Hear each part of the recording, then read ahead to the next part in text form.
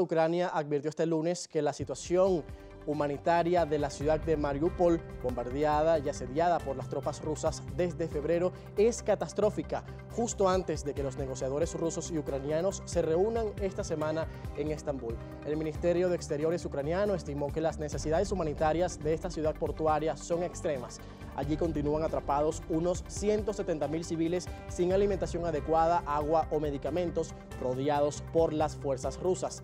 La Cancillería tildó la situación de catastrófica y afirmó que los ataques rusos lanzados por tierra, mar y aire habían convertido en polvo Mariupol, donde residían 450 mil ciudadanos. Allí Francia, Grecia y Turquía esperan lanzar una operación humanitaria para evacuar civiles los próximos días. Según las autoridades ucranianas, 20.000 personas han muerto violentamente desde que Rusia inició su invasión el 24 de febrero y 10 millones han tenido que abandonar sus hogares. De acuerdo con analistas, la resistencia en la asediada ciudad de Mariupol es el principal obstáculo para que Moscú obtenga control terrestre continuo entre Donbass y Crimea.